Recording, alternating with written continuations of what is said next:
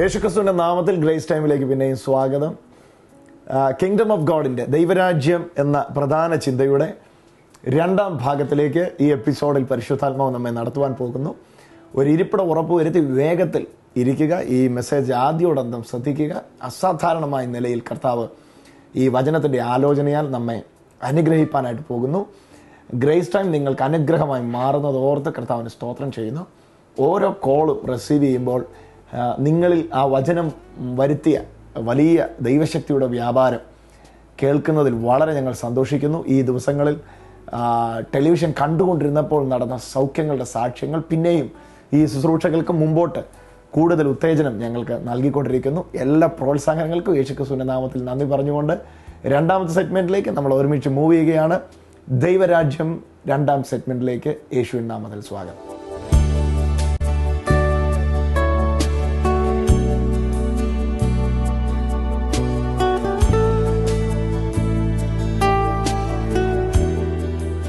കാലം തികഞ്ഞു ദൈവരാജ്യം സമീപിച്ചിരിക്കിയാൽ മാനസാന്തരപ്പെട്ട് സുവിശേഷത്തിൽ വിശ്വസിപ്പിക്കും. കഴിഞ്ഞ എപ്പിസോഡിൽ നാം കേട്ടു കാലം തികഞ്ഞു.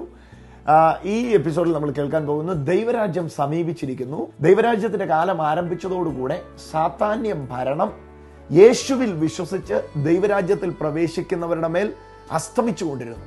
ആ ചിത്രം നിങ്ങൾക്ക് യേശു ഭൂമിയിൽ വന്നപ്പോൾ കർത്താവ് രാജ്യത്തിന്റെ ആ ശക്തിയിൽ നടത്തിയ അത്ഭുതങ്ങളിലൂടെ വ്യക്തമായി കാണാൻ കഴിയുന്നു. ഇരുട്ടിലിരുന്ന ജനം വലിയൊരു വെളിച്ചം കണ്ടു. ആ വെളിച്ചം യേശുവിലൂടെയായിരുന്നു വെളിപ്പെട്ട് വന്നിരുന്നത്. ഇന്ന് യേശു പഠിപ്പിച്ച പ്രാർത്ഥനയോട് ബന്ധപ്പെട്ടുള്ള ദൈവരാജ്യത്തിന്റെ ചിന്തകൾ ഈ സെഗ്മെന്റിൽ നമ്മൾ കേൾക്കും. യേശു പഠിപ്പിച്ച പ്രാർത്ഥന വളരെ സുപരിചിതമാണ്. സ്വർഗസ്ഥനായ ഞങ്ങളുടെ പിതാവേ അങ്ങയുടെ രാജ്യം വരണമേ.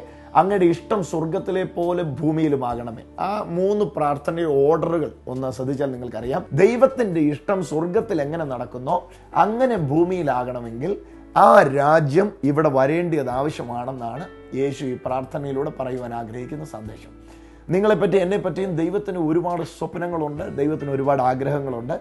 സ്വർഗത്തിലെ ദൈവം നമ്മുടെ നന്മ ആഗ്രഹിക്കുന്നു ദൈവം നമ്മുടെ വളർച്ച ആഗ്രഹിക്കുന്നു. എന്നാൽ ദൈവരാജ്യത്തിൽ വരുന്നവർക്ക് ഈ വളർച്ച ഒരു ബുദ്ധിമുട്ടും കൂടാതെ പ്രാപിക്കാനും സ്വീകരിക്കാനും കഴിയും. അതുകൊണ്ടാണ് യേശു പറഞ്ഞത് സ്വർഗത്തിലെ പോലെ തന്നെ ഭൂമിയിലാകണമെങ്കിൽ അതിനു മുമ്പേ അങ്ങയുടെ രാജ്യം വരണമേ.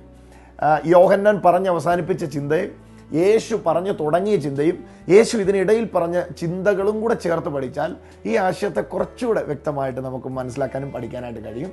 യോഹന്നൻ പറഞ്ഞ് അവസാനിപ്പിച്ചപ്പോൾ അവസാനം പറഞ്ഞത് kingdom of God is at hand ദൈവരാജ്യം സമീപിച്ചിരിക്കുന്നു എന്ന പ്രയോഗമാണ്.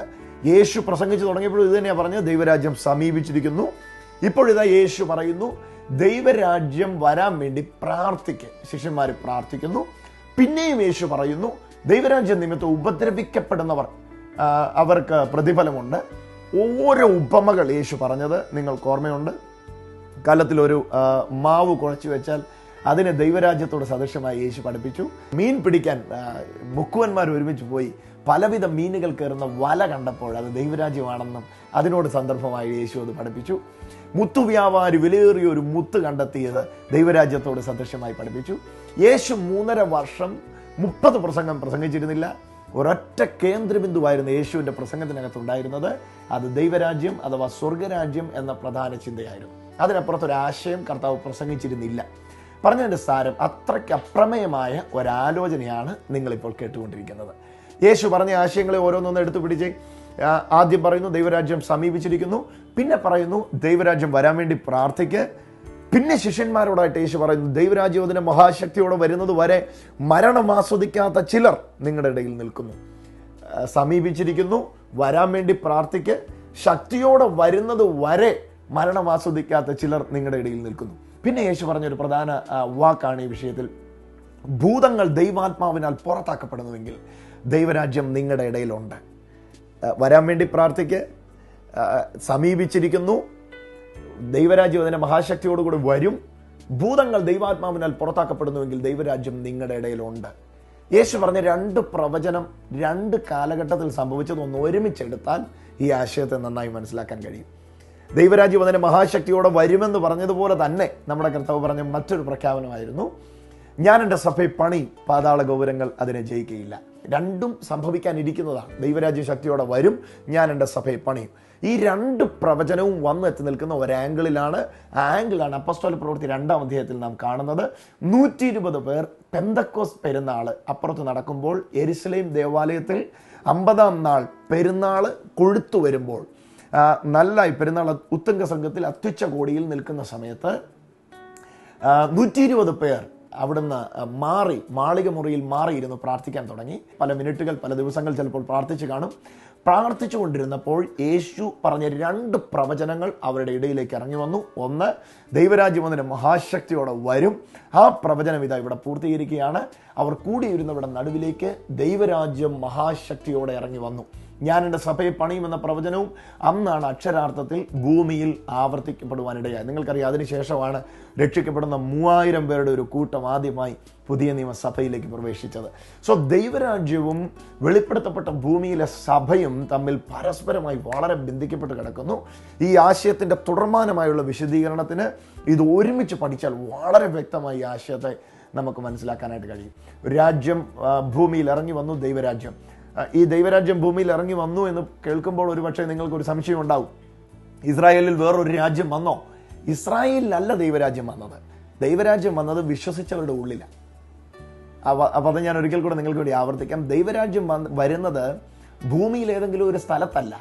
ഭൂമിയിൽ ജീവിക്കുന്ന നിങ്ങളിലും എന്നിലുമാണ് ദൈവരാജ്യം വരുന്നത്. ദൈവരാജ്യം എന്ന ആശയം പലരും തെറ്റിദ്ധരിച്ച പല രീതികളിൽ പഠിപ്പിക്കാറുണ്ട്. പക്ഷെ വാസ്തവത്തിൽ എന്താണ് ദൈവരാജ്യം എന്ന് മനസ്സിലാക്കുക? Kingdom of God is spiritual ദൈവരാജ്യം ആത്മീയമാണ് ആത്മീയ രാജ്യം വിശ്വസിക്കുന്നവന്റെ ആത്മാവിലാണ് വരുന്നത്. വിശ്വസിക്കുന്നവന്റെ ഉള്ളിലാണ് വരുന്നത്. ജഡരക്തങ്ങൾ ദൈവരാജ്യം അവകാശമാക്കുന്നില്ല. ഫ്ലഷിനും ബ്ലഡിനും ജഡത്തിനും രക്തത്തിനും കയറാൻ കഴിയുന്ന ഒരു തലമല്ല ദൈവരാജ്യം. ആത്മാക്കളുടെ രാജ്യമാണ് ദൈവരാജ്യം. പിലാത്തോസ് യേശുവിനോട് ചോദിച്ച ചോദ്യം കൂടെ ഒന്ന് ചേർത്ത് പിടിച്ചേ. പിലാത്തോസ് യേശുവിനോട് ചോദിച്ച ചോദ്യം ഹെരോദാവും ഒരുപോലെ ചോദിച്ച ചോദ്യം ഒന്നായിരുന്നു. നീ യഹൂദന്മാരുടെ രാജാവാണോ നീ?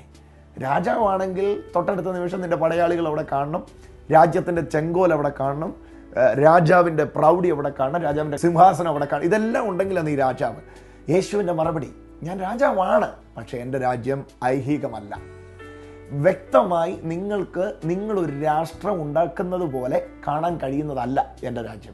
അതുകൊണ്ട് തന്നെ നിങ്ങൾ രാജ്യം പണിയുന്നത് പോലെ അല്ല ഞാൻ എന്റെ രാജ്യത്തെ പണിയുന്നത്. നിങ്ങൾക്ക് രാജ്യത്തെ പണിയണമെങ്കിൽ രക്തം ചൊരിയണം. എനിക്ക് എന്റെ രാജ്യത്തെ പണിയണമെങ്കിൽ രക്തം ചൊരിയേണ്ട ആവശ്യമില്ല. വാസ്തവത്തിൽ ദൈവം ആഗ്രഹിച്ച ദൈവരാജ്യം എന്നുള്ളത് ഏതെങ്കിലും ഒരു പ്രത്യേക സ്ഥലത്ത് ഏതെങ്കിലും ഒരു പ്രത്യേക ഗവൺമെന്റിനെ മറിച്ചിട്ടിട്ട് പ്രബലപ്പെട്ടു വരുന്ന ഒരു രാജ്യമല്ല. വിശ്വസിക്കുന്നവരുടെ ഹൃദയങ്ങളിൽ യേശു പണിയുവാൻ ആഗ്രഹിക്കുന്ന രാജ്യമാണ് വാസ്തവത്തിലുള്ള ദൈവരാജ്യം. ദൈവരാജ്യത്തിന്റെ രാജാവ് വിശ്വസിക്കുന്നവന്റെ ഉള്ളിലിരുന്ന് ഭരണം തുടങ്ങുമ്പോഴാണ് ആ വ്യക്തി ദൈവരാജ്യത്തിൽ പ്രവേശിക്കുന്നത്. ആ വ്യക്തി ദൈവരാജ്യത്തിന്റെ ഭരണം ആസ്വദിച്ച് തുടങ്ങുന്നത്. ഇതുപോലുള്ള പ്രസംഗങ്ങൾ കേൾക്കുമ്പോൾ പ്രത്യേകിച്ച് ഈ ക്രൈസ്തവ മൂവ്മെന്റുകൾ മുമ്പോട്ട് വരുമ്പോൾ പലരുടെയും ഉള്ളിൽ ഉണ്ടാകുന്ന ഒരു തെറ്റിദ്ധാരണയാണ്. ഇത് മതം മാറ്റുന്ന പരിപാടിയാണ്. ഇത് ഒരു മതത്തിലുള്ള മനുഷ്യനെ വേറൊരു മതത്തിലേക്ക് കൊണ്ടുപോകുന്ന സ്നേഹിതരെ നിങ്ങൾ തെറ്റിദ്ധരിക്കരുത്. ഇത് മതം മാറ്റുന്ന പരിപാടിയല്ല. യേശു വിഭാവനം ചെയ്ത ദൈവരാജ്യം ഭൂമിയിൽ ഏതെങ്കിലും ഒരു മതത്തിൽ നിന്ന് വേറൊരു മതത്തിലേക്ക് കൊണ്ടുവരുന്നതോ ഒരു കൾച്ചറിൽ നിന്ന് വേറൊരു കൾച്ചറിലേക്ക് കൊണ്ടുവരുന്നതോ ഈ ഒരു രാജ്യമല്ല. വിശ്വസിക്കുന്നവരുടെ ഉള്ളിൽ ഹൃദയങ്ങളുടെ ഉള്ളിൽ ഇറങ്ങി വരുന്ന ഒരു ദൈവരാജ്യത്തിന്റെ ആശയമാണ്. സോ ദൈവരാജ്യം ആത്മീകമാണ്. ആത്മീകമാകുന്ന ദൈവരാജ്യത്തിൽ ദൈവരാജ്യത്തിന്റെ സ്ഥാപനം ഭൂമിയിൽ വരുമെന്ന് യേശു പറഞ്ഞതാണ് അക്ഷരാർത്ഥത്തിൽ.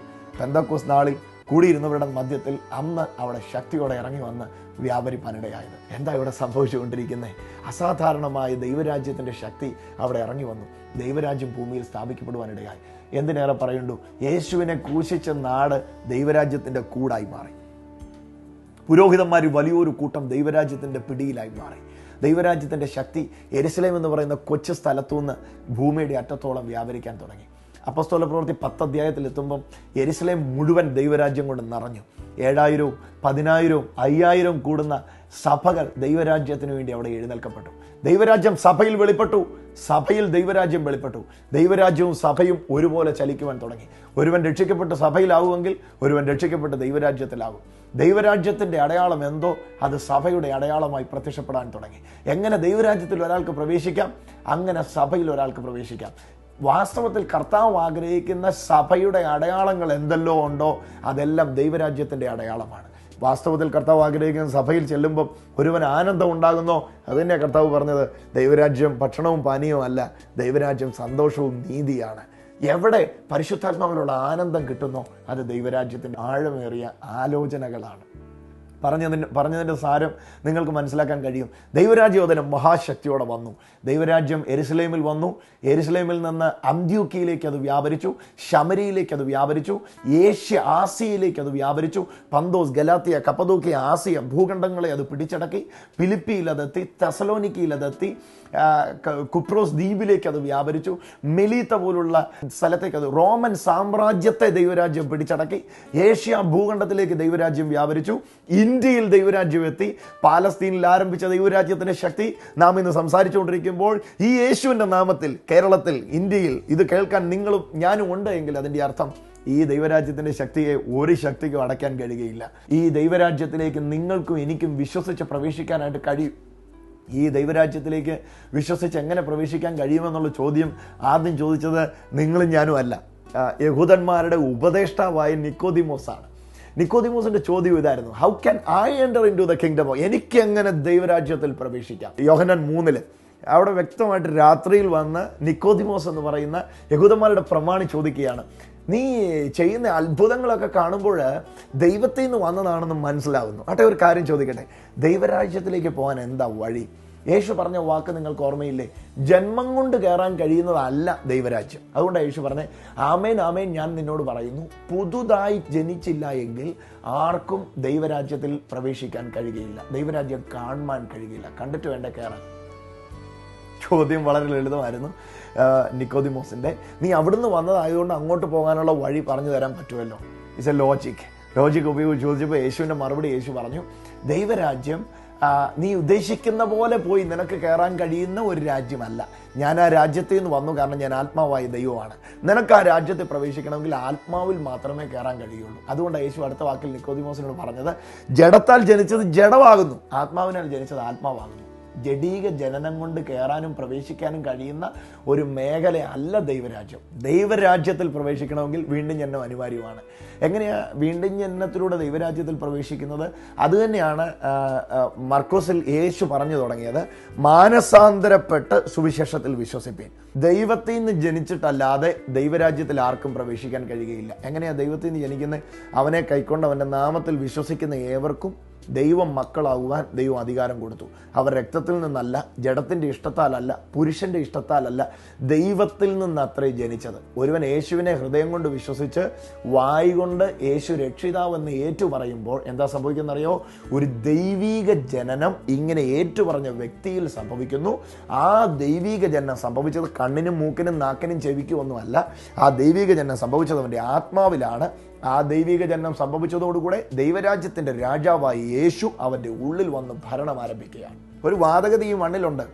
ഈ വാദഗതിക്ക് വലിയ പഴക്കമുണ്ട്. ഈ ഭൂമിയുടെ അധികാരിയായ സാത്താൻ ഒരു വാദഗതി ഇങ്ങനെ പറയാറുണ്ട്. എന്റെ മണ്ണിലിരുന്ന് എന്റെ അനുവാദം കൂടാതെ ആർക്കും എന്റെ നന്മ പ്രാപിക്കാൻ പറ്റത്തില്ല. ഒരു ദൈവത്തിന്റെ നന്മ ഇവിടെ ഇരുന്ന് പ്രാപിക്കാൻ ഞാൻ സമ്മതിക്കത്തില്ല. ഇത് എനിക്ക് എന്നോട് നിങ്ങളോട് മുഴക്കുന്നതിന് മുമ്പേ പഴയ നിയമത്തിൽ ഒരുപാട് സഹോദരന്മാരോട് പിതാക്കന്മാരോട് മുഴക്കിയതാണ് ഈ പിശാജ് നിങ്ങൾക്കറിയാം ദാനിയേൽ ഒരു ഭക്തനായിരുന്നു. ദാനിയേൽ പാർസി ദേശത്ത് പേർഷ്യയിലിരുന്ന് പേർഷ്യൻ കൺട്രിയിൽ ഇരുന്ന് പ്രാർത്ഥിച്ചപ്പോൾ എന്താ സംഭവിച്ചതെന്നറിയോ പ്രാർത്ഥനയുടെ ഒന്നാം ദിവസം മറുപടി വന്നതാ. പക്ഷേ നീണ്ട ഇരുപത്തൊന്ന് ദിവസം ആ മറുപടിയെ പാർസിദേശ പ്രഭു ലോക്കൽ പിജാജ് അവിടുത്തെ പ്രാദേശിക വാദം കയറി തടഞ്ഞു വെച്ചതിനെ. അന്ന് എന്താ സംഭവിച്ചത് നിങ്ങൾക്കറിയാം? ദൈവം ദൂതനെ അയച്ച് വെട്ടി ആ പ്രാർത്ഥനയുടെ മറുപടിയെ കൊണ്ടു കൊടുത്തു.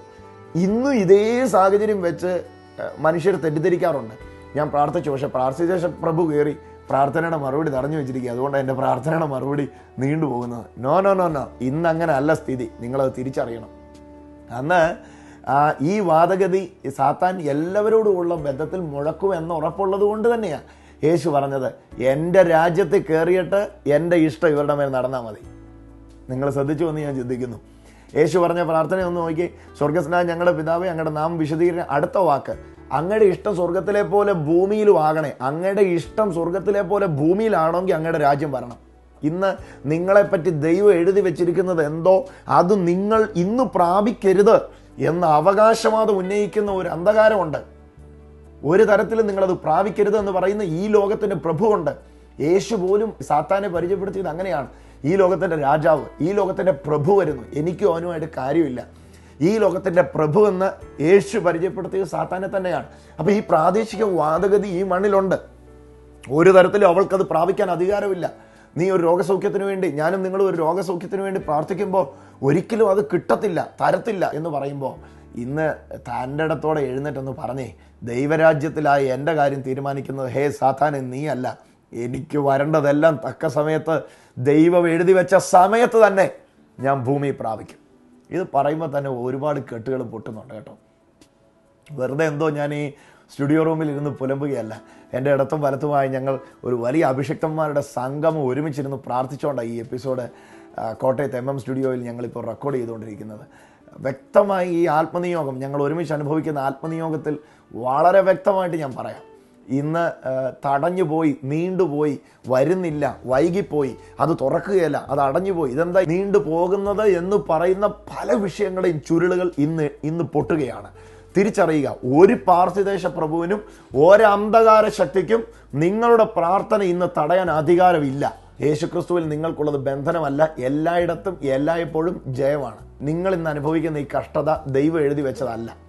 നിങ്ങൾ ഇന്ന് അനുഭവിക്കുന്ന ഈ കഷ്ടത നിങ്ങൾ ഇന്ന് കടന്നു പോകുന്ന ഈ സാമ്പത്തിക ബുദ്ധിമുട്ട് താങ്കൾ ഇന്ന് ചുമന്നുകൊണ്ട് നടക്കുന്ന ഈ അപവാദം താങ്കൾ ഇന്ന് തെറ്റിദ്ധരിക്കപ്പെട്ട ഈ മേഖല ഇതൊന്നും ദൈവം ആയിട്ട് അയച്ചിട്ടുള്ളതല്ല. സാത്താൻ നിങ്ങളുടെ മേൽ അടിച്ചേൽപ്പിച്ചിരിക്കുന്നതാണ്. സാത്താൻ അടിച്ചേൽപ്പിക്കാൻ അധികാരമുള്ളത് സാത്താന്റെ രാജ്യത്തിൽ ജീവിക്കുന്നവരുടെ മേലാണ്. എന്നാൽ നിങ്ങൾ വിശ്വസിച്ച് ദൈവരാജ്യത്തിൽ പ്രവേശിച്ചവരാണ് എങ്കിൽ ഇന്ന് നിങ്ങൾ അതിനോട് പ്രതികരിക്കാൻ തയ്യാറായാട്ടെ.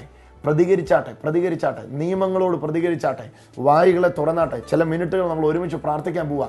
ഭയങ്കര ഒരു ആത്മസാന്നിധ്യം ഇവിടെ വ്യാപരിച്ചുകൊണ്ടിരിക്കുകയാണ്. വിശ്വസിക്കാൻ കഴിയുമെങ്കിൽ ഇപ്പോൾ തന്നെ ഈ സ്റ്റുഡിയോയിൽ ഞാൻ അനുഭവിക്കുന്ന അതേ ദൈവ സാന്നിധ്യം തന്നെ നിങ്ങളുടെ സമീപത്തേക്ക് വ്യാപരിക്കാൻ പോവുക നമുക്ക് ഒരുമിച്ച് പ്രാർത്ഥിക്കാം. കർത്താവെ ഇത്രയും അഭിഷിക്തന്മാർ ഞങ്ങൾ ഇന്ന് ഈ സ്റ്റുഡിയോയിൽ ഒരുമിച്ച് കൂടി യേശുവിന്റെ നാമത്തിൽ ഞങ്ങളുടെ ഈ കേൾവിക്കാർക്ക് വേണ്ടി പ്രാർത്ഥിക്കുന്ന കർത്താവെ.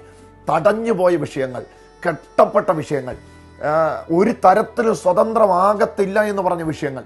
ഇത് ഇത് ഞാൻ ചുമക്കണം. ഇത് എന്നെയും കൊണ്ടേ പോകത്തുള്ളെന്ന് നാക്കുകൊണ്ടും വാക്കുകൊണ്ടും ഉറപ്പിച്ച വിഷയങ്ങൾ. കർത്താവ് ഇന്ന് ദൈവം അത് ആഗ്രഹിക്കുന്നില്ലല്ലോ. ഇത് ഞങ്ങൾ അനുഭവിക്കണമെന്ന്. ഇത് സാത്താൻ ഞങ്ങളെ വളരെ തെറ്റിദ്ധരിപ്പിച്ച് ഞങ്ങളെ പഠിപ്പിച്ചു വെച്ചിരിക്കുകയാണോ? യേശുവിന്റെ നാമത്തിൽ ഇന്ന് അതിന്റെ നേരെ ദൈവരാജ്യത്തിന്റെ ശക്തിയെ ഞാൻ അയക്കുന്നു. യേശു പറഞ്ഞ വാക്ക് ഇപ്പോൾ ഈ കേൾവിക്കാരുടെ മേൽ അയക്കുന്നു. ദൈവരാജ്യം വചനത്തിലല്ല ശക്തിയിലത്ര ഇരിക്കുന്നത്. ആ ദൈവരാജ്യത്തിന്റെ ശക്തി ഇപ്പോൾ ഇവിടെ റിലീസാകട്ടെ. നസ്രൈന യേശുവിന്റെ നാമത്തിൽ ഇന്ന് ഈ വചനം പറഞ്ഞുകൊണ്ടിരിക്കുമ്പോൾ ഏതാണ്ട് പന്ത്രണ്ട് കാറ്റഗറീസ് രോഗങ്ങൾ ഇപ്പോൾ തന്നെ അത് സൗഖ്യമായിക്കൊണ്ടിരിക്കുകയാണ്. കോളറിൽ ഈ കോളർ ഇടണമെന്ന് പറഞ്ഞ പേഷ്യന്റുകൾ. കഴുത്തിന് പ്രശ്നം വന്നിട്ട് ഇങ്ങനെ കോളർ ധരിച്ച പേഷ്യന്റുകൾ.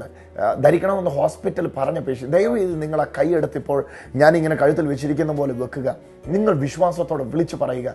ഇപ്പോൾ യേശുവിന്റെ നാമത്തിൽ ആ സൗഖ്യം ആ ആ കഴുത്തിൽ സംഭവിച്ചുകൊണ്ടിരിക്കുന്നു. അതുപോലെ തന്നെ ഒരു പ്രശ്നം കർത്താവ് വെളിപ്പെടുത്തുന്ന. ഈ ചെവിയുടെ പുറകു മുതൽ ഈ ഈ ഷോൾഡർ വരെ വേദന താഴോട്ട് ഇറങ്ങി വന്നിട്ട് കയ്യിലൊരു ബക്കറ്റിലെ വെള്ളം പോലും ഉയർത്താൻ കഴിയാതെ ഒരു വശം സ്വാധീനം നഷ്ടപ്പെടുകയാണോ എന്ന് ചിന്തിക്കുന്ന തരത്തിലുള്ള അതികഠിനമായ തളർച്ചകൾ. ഇപ്പോൾ വ്യക്തമായി ഞാൻ പറയാം ഈ വചനം കേട്ടോണ്ടിരിക്കുമ്പോൾ തന്നെ അത് പൊട്ടി മാറുകയാണ് യേശുവിന്റെ നാമത്തിൽ ഈ ജനത്തിന്മേൽ അത് സംഭവിക്കട്ടെ കർത്താവ്. കർത്താവ് അത് ഇപ്പോൾ തന്നെ ചെയ്തുകൊണ്ടിരിക്കുന്നതിനായി സ്തോത്രം.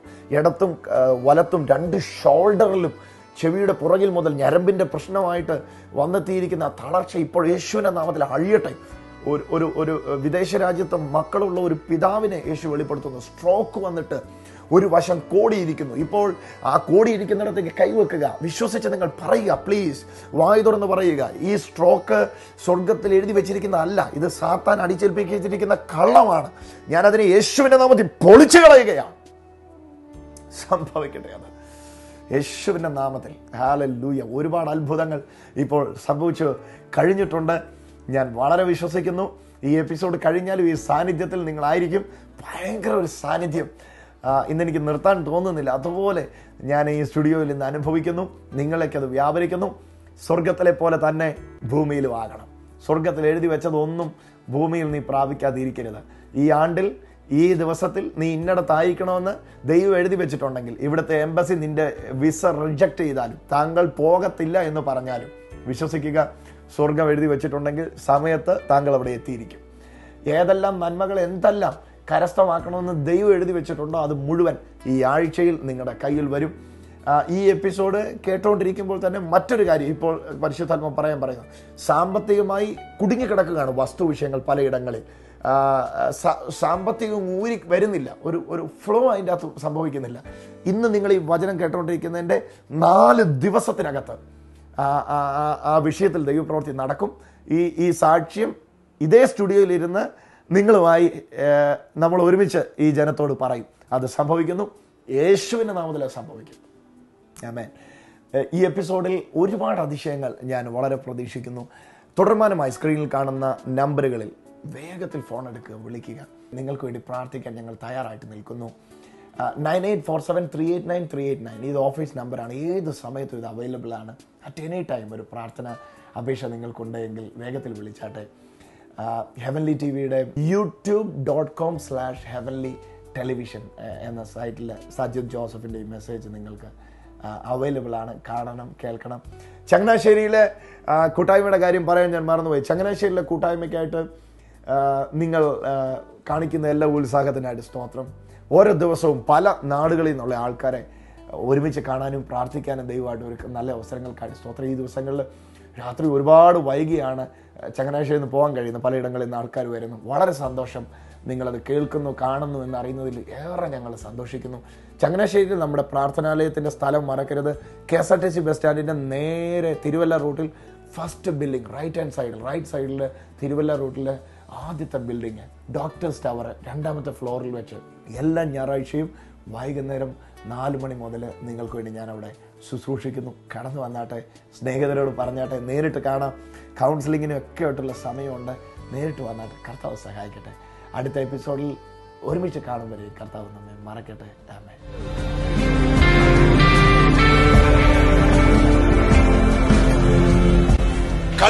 കോളർ ഇടണമെന്ന് പറഞ്ഞ പേഷ്യന്റുകൾ സൗഖ്യമായിക്കൊണ്ടിരിക്കും. കോളർ ഇടണമെന്ന് പറഞ്ഞോ? ഏ? ഓടിവാ കരയാതെ സന്തോഷിക്ക്. ഇത് കരച്ചിലിന്റെ സ്ഥലമല്ല. ഏത് ഡോക്ടറാ പറഞ്ഞത് ബെൽറ്റ് ഇടണമെന്ന്? കഴിഞ്ഞ ഓണത്തിന് എന്റെ കൈ പൊങ്ങാതെ എന്റെ വൈഫ് ആഹാരം എനിക്ക് വാരി തന്ന. ദൈവം എന്നെ അത്ഭുതമായിട്ട് ഇപ്പൊ ഈ കഴുത്തിന് എന്നാ പ്രശ്നം? ബൈക്ക് ബൈക്ക് ഉപയോഗിക്കരുത്. കഴുത്ത് കോളർ ഉപയോഗിക്കണം കോളർ ഉപയോഗിക്കണം. കോളർ കയ്യിലുണ്ടോ? ഉപയോഗിക്കാറുണ്ട്. ഇന്ന് ഇത് സൗഖ്യമാവുമെന്ന് വിശ്വസിക്കുന്നു.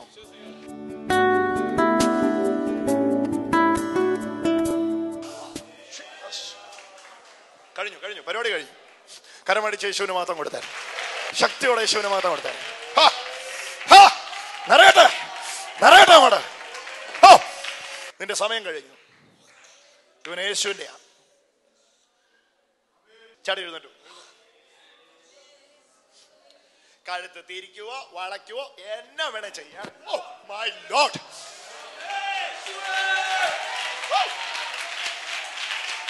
തിരിക്ക് ബ്രദറെ തിരിക്ക്. വളക്കേ ഓടിക്ക്. ഓ കോളറ് കോളറ് വിശ്വസിക്കാമോ?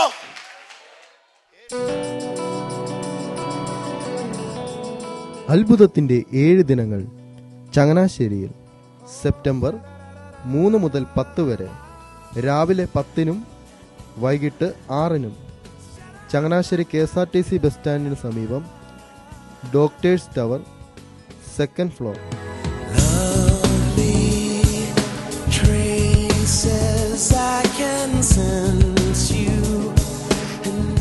ഇരുപത്തിമൂന്ന് ഇരുപത്തിനാല് ഇരുപത്തി അഞ്ച് തീയതികളിൽ തിരുവനന്തപുരത്തുള്ള പ്രേക്ഷകർ ദയവായിട്ട് ആ ഡേറ്റ് നോട്ട് ചെയ്താട്ടെ തോട്ടവാരത്ത് നടക്കുന്ന മീറ്റിങ്ങിലേക്ക് നെയ്യാറ്റിൻകരയ്ക്കടുത്ത് അമരവിളയിൽ നിന്ന് ലെഫ്റ്റ് പോയി ആ, മാരായമുട്ട കഴിഞ്ഞുള്ള ജംഗ്ഷൻ തോട്ടവാരം ജംഗ്ഷനിൽ വെച്ച് ഇരുപത്തി മൂന്ന് ഇരുപത്തിനാല് ഇരുപത്തി അഞ്ച് തീയതികളിൽ നടക്കുന്ന ഗ്രേസ് ഫസ്റ്റ് മീറ്റിംഗ്